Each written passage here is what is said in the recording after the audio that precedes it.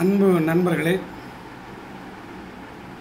இந்த ஆங்கில எழுத்துக்களை நீங்கள் பார்த்தாலே லீடர்ஷிப் அப்படிங்கிற எழுத்துக்களை பார்த்தாலே தலைமை பொறுப்புன்னா என்னன்னு தெரிஞ்சுக்கணும் என்ன செய்யணும் அப்படின்ட்டு.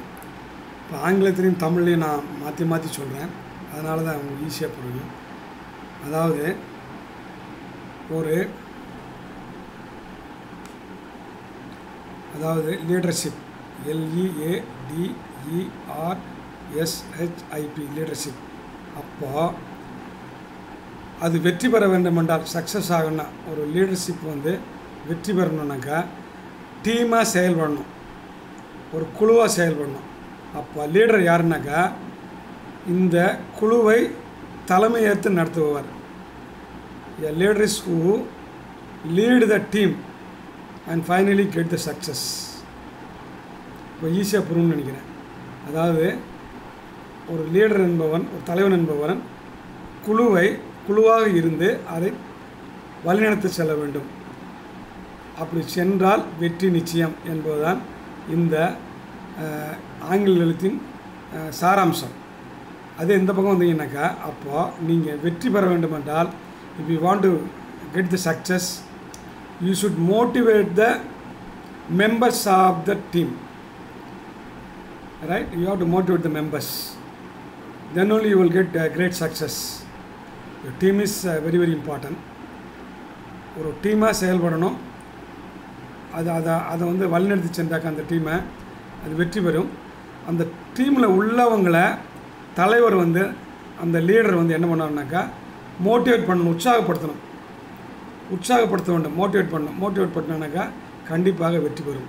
அதனால தான் வாட் இஸ் இதில் வந்து நமக்கு வந்து what is leadership what is success how to get the success and அப்படிங்கிறத நாம் வந்து ஈஸியாக வந்து புரிஞ்சிடலாம். அப்போது ஒரு லீடர் என்பவர் ஒரு ஒரு குழுவாக செயல்பட்டு அதை தலைமையேற்று நடத்தினால் சக்ஸஸ் ஆகும். அதுவும் குறிப்பாக அந்த குழுவில் இருப்பவர்களை மோட்டிவேட் பண்ணணும். மோட்டிவேட் பண்ணனாக்கா கண்டிப்பாக சக்ஸஸ் ஆகும். அப்படிங்கிறது தான் இந்த ஆங்கில எழுத்துக்களின் சாராம்சம். அப்போ நம்ம இந்தியாவில் வந்து எத்தனையோ பிரிவினைகள் பாருங்கள் ஹிந்துசம் இருக்குது ஹிந்துசம் இருக்குது ஜைனிசம் இருக்குது புத்திசம் இருக்குது சிக்கிசம் இருக்குது இஸ்லாம் இருக்குது கிறிஸ்டானிட்டி இருக்குது ஸோ இத்தனை மதங்கள் இருக்குது. கிட்டத்தட்ட ஒன்று ரெண்டு மூணு நாலு அஞ்சு ஆறு மதங்கள் நிறைய மதங்கள் இருக்குது நிறைய இனங்கள் இருக்குது நிறைய லாங்குவேஜஸ் இருக்குது மொழிகள் இருக்குது நிறைய நம்மளுடைய பழக்க வழக்கங்கள் நம்மளுடைய நாகரிகங்கள் நம்மளுடைய சாப்பாடு எல்லாமே வேறுபட்டு இருக்குது இத்தனை இத்தனை வித்தியாசமான உள்ள நாடுகள் வேற எங்கேயும் பார்க்க முடியாது. ஸோ இதுதான் வந்து நம்ம இந்தியா தான் கிரேட் எக்ஸாம்பிள் ஃபார் பயோடைவர்சிட்டி நாம் இத்தனை வித்தியாசங்கள் இருந்தால் கூட இந்தியன் அப்படிங்கிற ஒன்றில் வந்து ஒன்றா நிற்கிறோம் இந்தியன் அப்படிங்கிறது தான் நம்மளை வந்து ஒன்றா அனுப்பிச்சிருக்கு. நமக்கு மொழி வேறு அந்த நார்த் இந்தியாவில் போய் இருக்கிறவங்க மொழி வேறு எத்தனையோ நிறைய மொழிகள் இருக்குது அப்படி இருந்தால் கூட நம்ம இந்தியன் அப்படிங்கிற ஒன்றில் வந்து ஒன்றா இருக்கிறோம்.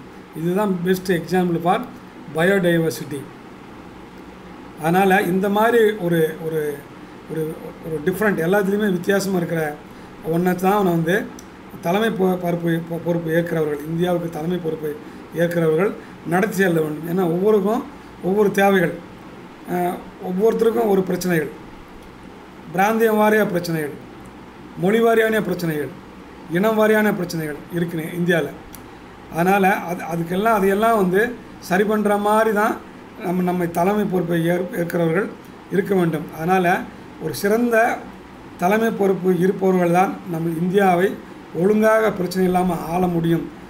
அதனால் மற்ற நாட்டில் ஆள்றாங்க அது ஒரே மொழி இருக்கலாம். இல்லை இல்லை ரொம்ப கம்மியான மொழிகள் இருக்கலாம். அதே மாதிரி கட்சிகள் பார்த்தாக்கா நிறைய கட்சிகள் நிறைய தலைவர்கள் கட்சி தலைவர்கள். அதனால் இந்த மாதிரி வந்து நிறையா உள்ள நாடுகள் வேறு அதிகமாக இல்லை. நம்ம இந்தியா தான் இப்படி இருக்குது இப்படி இருக்கிறப்ப இத்தனை பேரையும் ஆள வேண்டுமென்றால் ஆளுபவர் ஒரு சிறந்த தலைமை பொறுப்பு குணமுடையவராக இருக்க வேண்டும். அப்படி இருந்தால்தான் ஆள வேண்டும். அப்படி அப்படி ஆள்பவர் தான் சிறந்த தலைமை பொறுப்பு உள்ளவர் என்று நாம் முடிவு செய்ய வேண்டும். அப்போ நாம் வந்து வெற்றி பெற வேண்டுமென்றால் ஒரு லீடர்ஷிப் குவாலிட்டினாக்கா வெற்றி பெறுறது தானே? நாம் அந்த அந்த லீடர்ஷிப் கீழே அந்த தலைமை பொறுப்பு கீழே நாம் வெற்றி பெற வேண்டுமென்றால் நம்மளால் பறக்க முடியவில்லை என்றாலும் கூட ஓட வேண்டும். If you can if you cannot fly run if you cannot run உங்களால் ஓட முடியலன்னா கூட அட்லீஸ்ட் நடங்க. இல்லை நடக்க முடியலன்னா கூட அப்படியே தவழ்ந்து வாங்க. ஆனால் எப்பயுமே நீங்கள் வந்து ஒரு இடத்துலேருந்து மூவ் பண்ணிக்கிட்டே இருக்கணும். நீங்கள் மூவ் பண்ணிகிட்டே இருந்தால் தான் அதான் நகர்ந்து கொண்டே தான் இருந்தால் தான் ஒரு இடத்துல உட்காராம நடந்துருந்தோன்னா நாம் வந்து வெற்றி கனியை சுவைக்க முடியும். ஒரு தலைவன் வந்து ஏன் ஒரு தலைவன் ஒரு இதுக்கு வந்து தலைவனாக வரானாக்க ஒரு ஒரு குறிப்பிட்ட இதுக்கு வந்து டீமுக்கு ஒரு- ஒரு ப்ராஜெக்ட்டுக்கு ஒரு டீமுக்கு தலைவனாக வரானா ஒரு டார்கெட்டை அச்சீவ் பண்ணுறதுக்கு அப்போ டார்கெட் அச்சீவ் பண்ணனாக்கா நீ பறக்க வேண்டிய அவசியம் இல்லை. அதையே நான் உதாரணம் எடுத்துக்கிறேன். பறக்க வேண்டிய அவசியம் இல்லை. பறக்க பறக்க முடியல. பறக்கணும் தான் பறக்க முடியலனாக்கா அட்லீஸ்ட் ஓட ஆரம்பிங்க. அப்போ ஓட முடியலன்னா கூட நடங்க. நடக்க முடியல தவழ்ந்துக்கிட்டே இருங்க. ஆனால் சும்மா ஐடியலாக உட்காந்துட்டு இருக்காங்க. அது நமக்கும் நம்ம இந்தியாவுக்கும் சரியில்லை. நம்ம நல்ல வெற்றியை பெற வேண்டுமென்றால் சிறந்த தலைவன் வேண்டும். இந்த தலைவன் இருந்தால் கூட நீங்கள் இதெல்லாம் நான் சொன்ன இதெல்லாம் ஃபாலோ பண்ணால் தான் வெற்றி கனியை சுவைக்க முடியும் என்று சொல்லி வாய்ப்புக்கு நன்றி கூறி விடைபெற நன்றி வணக்கம்.